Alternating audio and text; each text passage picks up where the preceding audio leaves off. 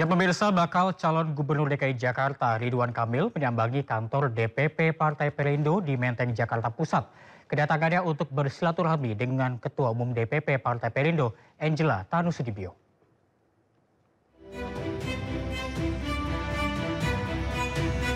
Dewan Pimpinan Pusat Partai Perindo resmi mengusung Ridwan Kamil untuk maju pada Pilkada Jakarta 2024. Dukungan itu resmi diberikan setelah Ketua Umum Partai Perindo, Angela Tanusudibio, menerima silaturahmi Ridwan Kamil di kantor DPP Partai Perindo di Jakarta Pusat forum silaturahmi juga ya Pak ya uh, dan uh, senang sekali mendengar langsung dari para calon gubernur kita ini dan wakil gubernur ini ke mana ke depannya wilayah-wilayah ini mau dibawa begitu ya. Karena kami dari Partai Perindo uh, tentunya sangat concern sekali uh, terkait dengan uh, kesejahteraan masyarakat ya. Dan um, khususnya saya juga karena saya warga Jakarta gitu ya uh, jadi memang pertanyaannya saya lontarkan pertama kali ke Pak calon gubernur ini adalah Jakarta mau dibawa ke mana Pak? Gitu kan? Ya, terima kasih kami terkait rekomendasi karena urutannya itu kan rekomendasi, pengusungan, pendaftaran, ada kontestasi, ada